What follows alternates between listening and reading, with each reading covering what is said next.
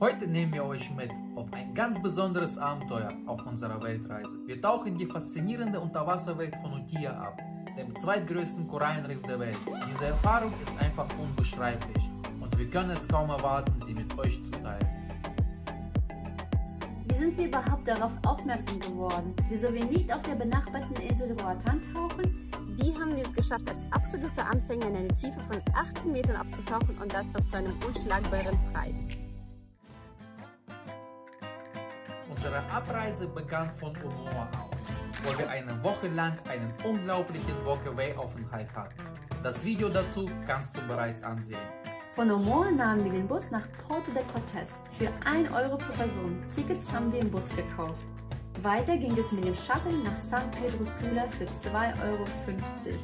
Tickets ebenfalls im Bus gekauft. Im San Pedro Sula Busterminal erstmal problemlos Geld abgehoben, da man fast überall mit Cash zahlen muss. Tickets haben wir diesmal an der Kasse gekauft für 7 Euro per Person nach La Ceiba. Und auf diesen Fahrten wirst du nie hungrig sein. Verkäufer steigen regelmäßig in die Busse ein Natalia wollte ich hier oben aufmachen, aber er, ich habe die eine heimisch beobachtet. Die reißt es hier ab. Alles ist vorhanden. In La Ceiba haben wir ein Taxi für 10 Euro genommen, um zur Fähre zu gelangen. Das heißt nun, warten auf die Fähre, die nur zweimal am Tag ablegen. Die Tickets für die Fähre konnten wir online kaufen, für 28 Euro pro Person. Jetzt nur noch eine Stunde Fahrt mit der Fähre und wir sind da. Vor Ort hat uns ein Mitarbeiter vom Hotel empfangen. Nach neun Stunden sind wir endlich angekommen. Wieso tauchen wir auf Utia? Grund Nummer uno, es ist ein Tauchparadies. Die Insel ist bekannt für ihre erschwinglichen Tauchmöglichkeiten und erstklassige Ausbildung. Nicht zuletzt bestand die Möglichkeit, den Kurs auf Englisch zu absolvieren. Wir haben uns für das Utia Dive Center entschieden. Neben dem Tauchparadies Utia gibt es noch die benachbarte Insel Roatan, auf dem das Tauchen ein Vergnügen ist. Jedoch sind die Kosten hier um das Doppelte höher. Am Ende ist es eine Abwägung zwischen Preis- und Leistungsverhältnis. Wir haben uns die Insel dennoch angeschaut und waren begeistert von dem Ort. Guten Morgen, es ist 7 Uhr früh und diesmal gehen wir nicht zur Finca, sondern zum Tauchen. Unser Tagesablauf war intensiv und aufregend. Am ersten Tag begannen wir mit der Anmeldung und dem Ausfüllen verschiedener Dokumente. Anschließend wurden wir von unseren Ausbildern abgeholt.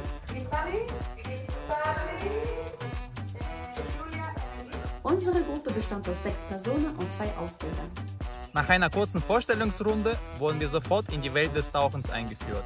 Wir mussten mehrere Kapitel durcharbeiten und nach jedem Abschnitt einen Test schreiben. Uns wurde Material auf Deutsch bereitgestellt, da wir Schwierigkeiten mit den Fachbegriffen hatten. In unserer zweiten Stunde.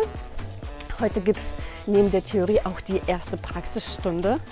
Ich hätte gedacht, dass Tauchen so kompliziert ist. Ich nicht. Ich Im theoretischen Test hab ich, bin ich durchgefallen, habe ich nicht 80 Punkte ge gemacht. Wusste nicht, dass man 80 Punkte überhaupt erreichen muss. Hm, Das ist also Multiple-Choice-Test. Dann ich die so, und dann, die so, mach's nochmal hier so, ein Blatt mit dem gleichen, das gleiche Blatt nochmal zugeschoben, kreuz es nochmal an. Ja, dann habe ich es geschafft. 80 Punkte. Ich hatte immer noch zwei Fehler. Hier konnten wir das Gelernte in einer Tiefe von 1,50 Meter in die Tat umsetzen. Von der Entfernung der Maske bis zum Teilen des Reservegrundstücks mit unseren Tauchpartnern wurden verschiedene Techniken geübt. Für mich war die Situation unter Wasser etwas überwältigend und ich brach die Übungen ab. Die Lehrer hatten aber zum Glück Verständnis dafür, es kommt häufiger vor und ich konnte das am zweiten Tag nochmal nachholen. Ich bestand die Übungen und habe somit meine Komfortzone erweitert und das hat sich super angefühlt. Yeah! Und hätte ich das gar nicht gewollt, hätten wir auch einen Teil des Geldes zurückerhalten. Unter Wasser waren wir immer mit vier Ausbildern und sechs Teilnehmern. And guys, how do you feel? Good. Good? Good. Nice. Kommunikation zwischen Ausbildern verlief zu 100% reibungslos und wir haben uns stets sicher gefühlt. Am Ende waren wir alle erfolgreich und schlossen den Kurs mit einem Gefühl der Erleichterung und Freude ab. Einige haben gleich im Anschluss den Open Water Advanced für 30 Meter Tiefe gebucht. Wir haben aber erstmal eine Pause gebraucht. Wie haben wir eigentlich unseren Dive Center gefunden? Ich habe in Google Maps nach hochbewerteten Tauchaktivitäten gesucht und stieß dabei auf das Utia Dive Center. Nach Durchlesen der Bewertungen sind wir auf die Webseite, die sich als äußerst benutzerfreundlich erwies, raufgegangen. Über WhatsApp nahmen wir Kontakt auf. Kommunikation verlief reibungslos und wir erhielten alle benötigten Informationen. Besonders beeindruckend war, dass unser Hotelaufenthalt bereits im Preis inbegriffen war. Auf Utia selber gibt es aber noch weitere Schulen. Man hat eine sehr große Auswahl. Aussagen über die Qualität können wir jedoch nicht treffen. Beim Reisen sind die Kosten ein nicht zu vernachlässigter Punkt. Es gibt zwei ATMs in der direkten Nähe des Hafens. Mit unserer Visitenkarte mussten wir keine Gebühren zahlen. Und nun zu den tatsächlichen Kosten.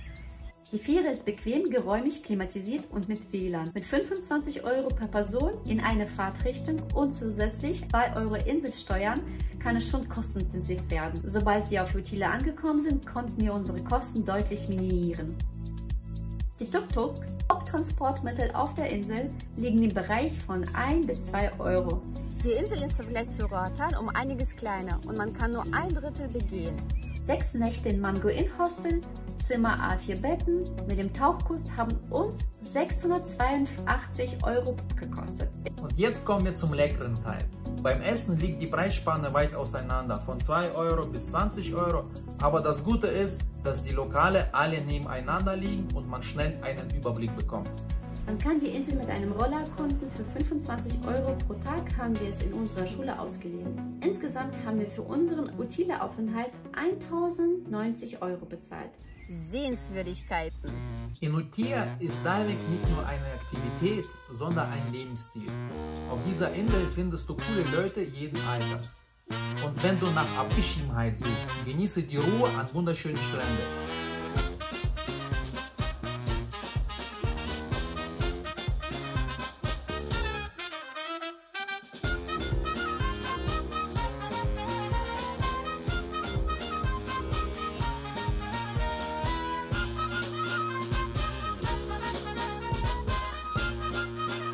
Das ist praktisch der Anfang des Cheapest Beaches.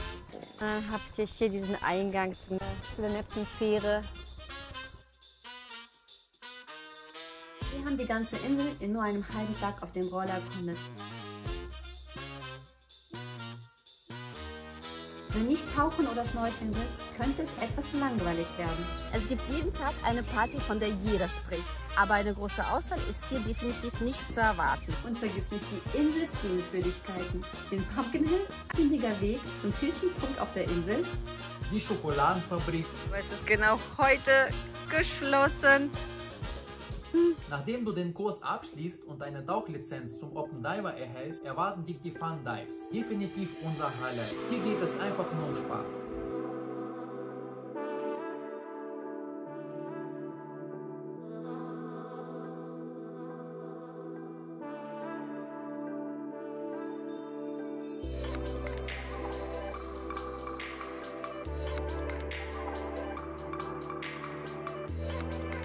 Wenn die Sonne langsam untergeht, werden die Sunsets umso beeindruckender. Wir konnten es einfach nicht satt sehen. Unser Fazit. Utir ist der perfekte Ort, um tauchen zu lernen und das Leben unter Wasser in vollen Zügen zu genießen, zum erschwinglichen Preis. Yeah, genau. Und für uns geht es als nächstes nach Roatan hin, wo wir zwei Tage verbringen und wir waren echt begeistert von dieser Insel. Hoffentlich sehen wir dich im neuen Video wieder. Bis dahin, Hasta luego.